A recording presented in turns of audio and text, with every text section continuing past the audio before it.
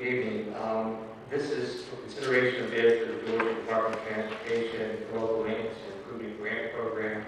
As we discussed on Tuesday evening, today at 2 o'clock, we opened up publicly the uh, bids for the resurfacing project.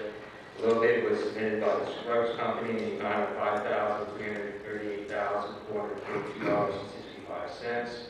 Engineering estimate is $566,082. We will use the uh, SPLOST six resurfacing account to pay for the amount over the uh, GDOT, GDOT uh, commitment level. That level is four hundred eight thousand seven oh six sixty-six. We're recommending that you approve the low bid submitted by the Scruggs Company in the amount of five hundred thirty-eight thousand four forty-two sixty-five, plus a ten percent uh, contingency to handle any unforeseen circumstances. I'll take any questions you might have. You, you wanna give us that figure, that little bit? It's five hundred and thirty-eight. I'm sorry, five hundred thirty-eight thousand four hundred forty-two dollars eighty-five cents. Does the council have any questions? Could I have a motion?